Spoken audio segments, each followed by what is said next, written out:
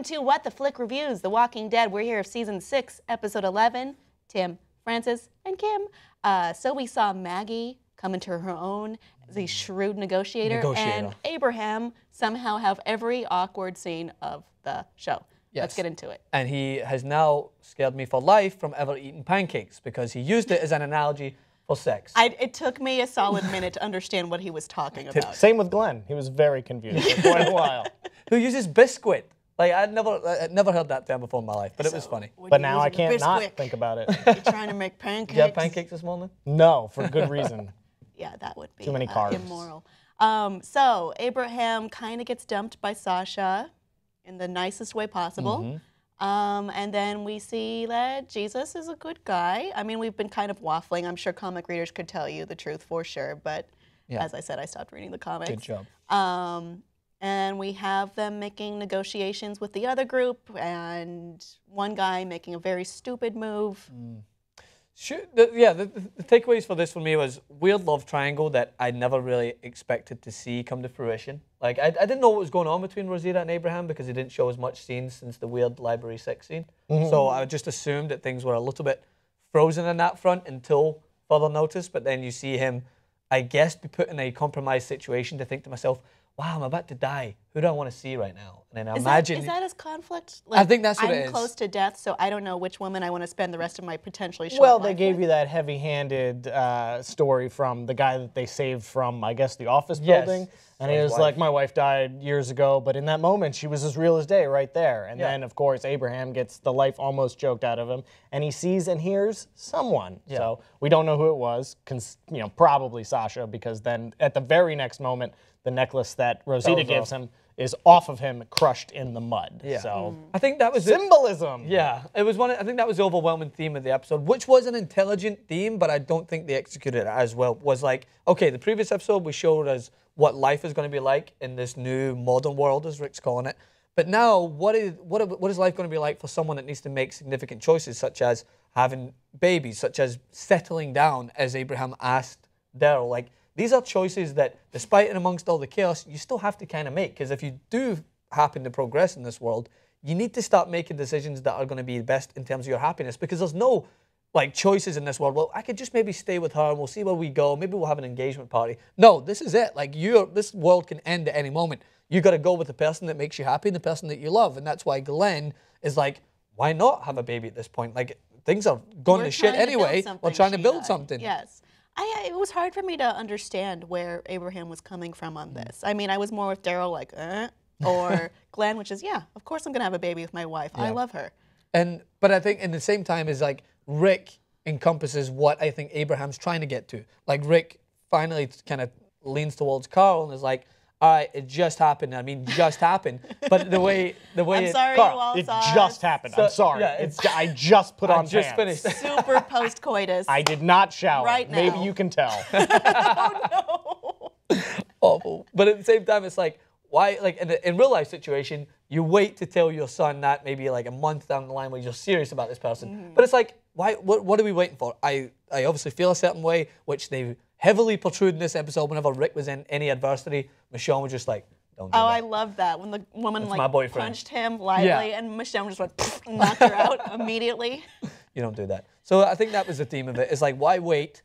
And it, you need to find out your decisions that you want to make in your life immediately because it could be changed. It could change at any point. I think the reason that that conflict in Abraham rings hollow for us is because we've never really seen a compelling scene between him and Sasha. Their, Or him and their Rosita. scenes, Maybe. their scenes are always so poorly written and always so heavy-handed and like filled with this drama of like, do I even want to live? Why go on? I mean, I'm just always thinking, why? Why Yeah, now? why? Why this? Why? Why you? I don't understand. This isn't. It's not connecting. Yeah, and it's not as if we start to feel bad for Rosita because we haven't seen any sort of We don't know meaningful anything scene about between them. It's like kind of like, okay, they did it a couple of times, but like, it's fine. like, she did give him a homemade gift. he gave him a means homemade gift. That was some sort of That means a lot now. To, when when they when they started those scenes, I didn't look into it as a, everyone was like, oh, they could be together, a relationship. I seen it as him trying to cling on to a reason to live. Not necessarily her, but what she was teaching him, because both of them faced, or everyone faces those challenges in this world. But I think he was just looking at her as a symbol of what to live for, but not exactly her, if you get me, because there was no connect, there was no chemistry between them two. The best scene we seen with them was when they used to kind of make fun of each other, but and most people in the comments and, and, and in, in the media are like, she's just acting bad. I think she's been given bad scenes to, to kind of act in, I if you agree. ask me. I agree. I don't know. I don't necessarily think she's a bad actress. I, I'm not even sure who you're talking about. Oh, Sasha. Uh, Sasha. okay. Yeah. Uh, no, she's. I think she's a good actress. Um, moving on, we have the uh, the the Hilltop Community. And nicely named. They, I don't know. How do you feel about them? The the smarmy leader was equ- was very smarmy. As soon as I seen those braces in this world, like, you don't need to wear braces. I wear braces every day. Are we? You guys call them suspenders or braces? Uh, Oh. Clearly, we call them suspenders because I have no idea what you're So they're talking called bra- about. You're I- not the wearing thing braces. Yeah, uh, well, we call them braces back home, right? So anyway, we understand this. He wants to give off a good image, but there's no need to waste your time putting on suspenders. Suspenders in the UK are what girls wear, by the way. That's why I don't like saying it without feeling awkward. I don't know what you're talking about. No. That's what I call anyway, yes, he was very. Well, you have to keep this place clean. And We Yes. have to do this, and I'm just leveraging. I did not like how creepy he was being with Maggie. No. You mean Natalie?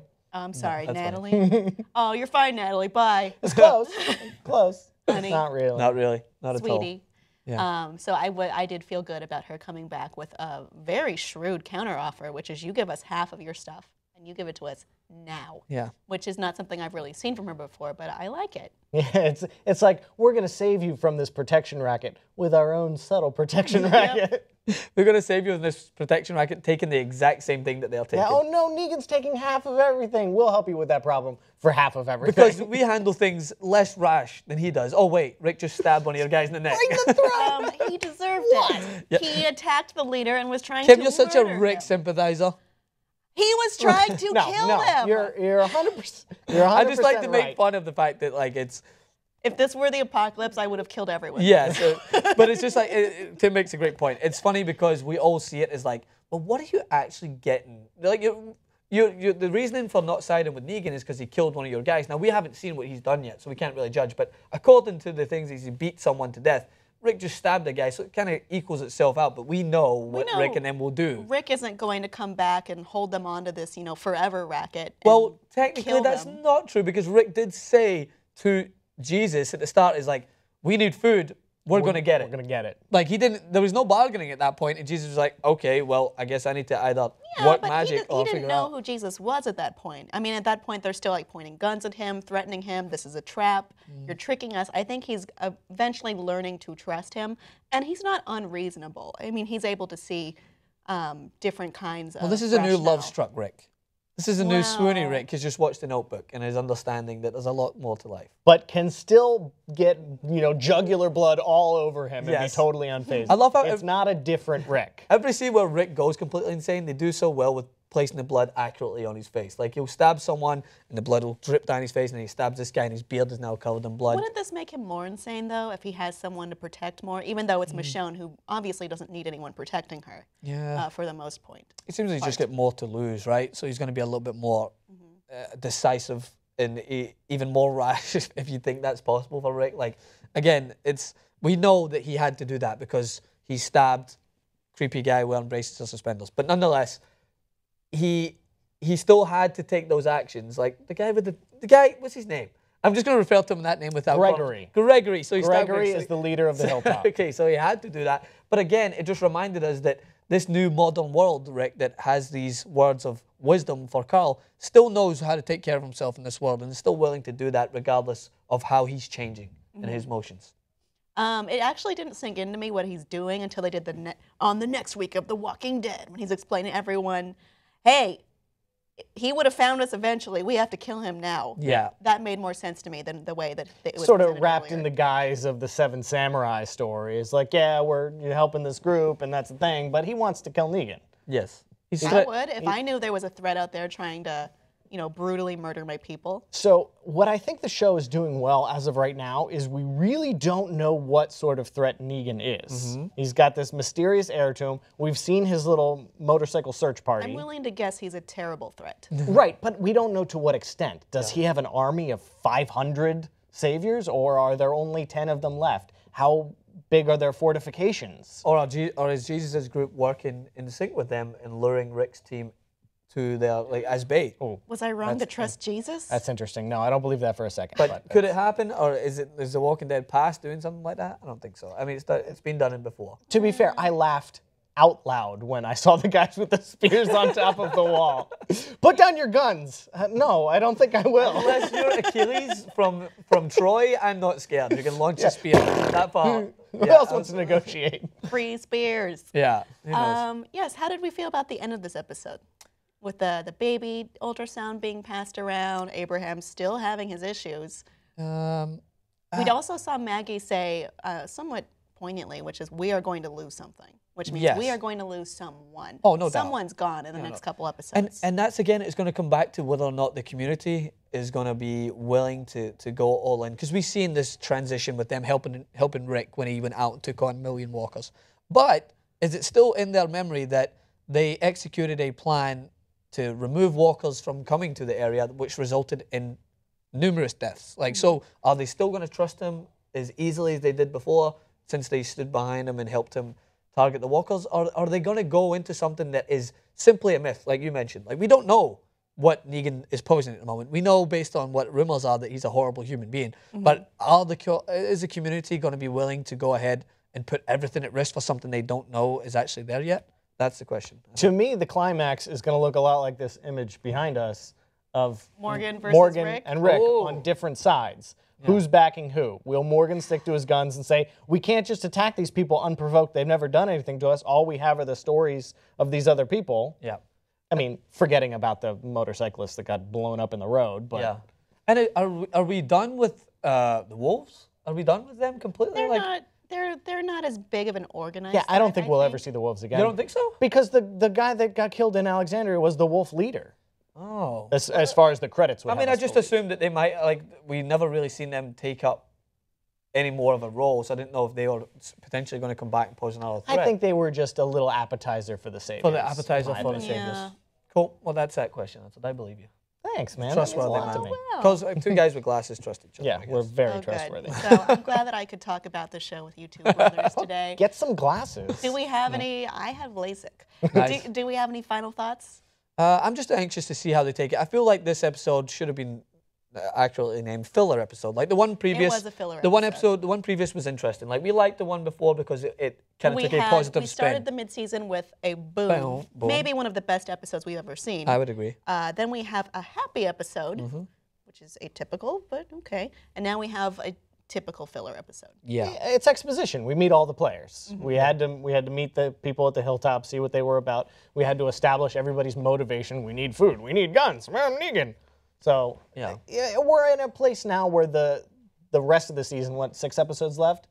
Five Is five is is, is ready to fewer. unfold. Yes. Is, the the whole impetus as to what's going to happen is like right before us. I think we're going to meet Negan next episode. I I, think can't a- wait to meet him. I think a main character is going to die next episode. I could. s- I think it's time. I think someone mentioned it, and I'm like, it's it's bound to happen. We didn't get Mm. as significant a death in the opening mid-season finale didn't. because we just got the. Well, it was significant in terms of we like we got people that we knew dying, but there was no one of the core group that's that's left at this It's point. It's been a long time since anyone in the core group has Yeah, died. who I do mean, we- we've seen Alexandrians fall, and we kind of care.